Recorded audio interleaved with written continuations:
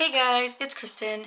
I am back with another bullet journal plan with me. I know I haven't done one of these in a while, but here we go. Um, I'm going to be using this Papermate Ink Joy Gel in 0.5. I've never used this in a bullet journal.